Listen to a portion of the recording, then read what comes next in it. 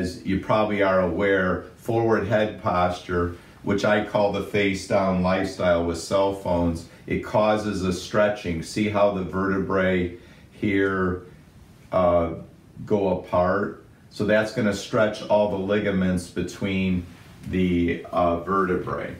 And you can see here the weight of the head, it goes, it goes uh, up incrementally the force on the neck as you bend forward. And that all that stretching of the ligaments eventually stretches them out permanently. And that's what leads to the destruction of the cervical curve and the myriad of symptoms that you get with cervical instability. Symptoms like migraine headaches dizziness vertigo poor balance clicking popping grinding in the head terrible fatigue there's people that have fatigue, they don't even know the cause. Well, the cause could be the face down lifestyle of from the cell phone causing a stretching of the spinal cord, the vagus nerve, causing impulses not to go from your body, your digestive tract to your brain. So then the digestive tract doesn't work quite right.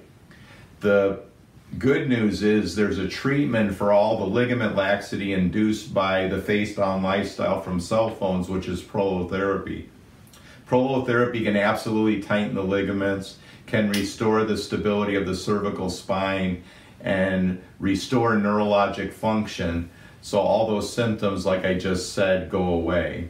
So if you want your symptoms to go away, I'd say put your cell phone away and come and get prolotherapy.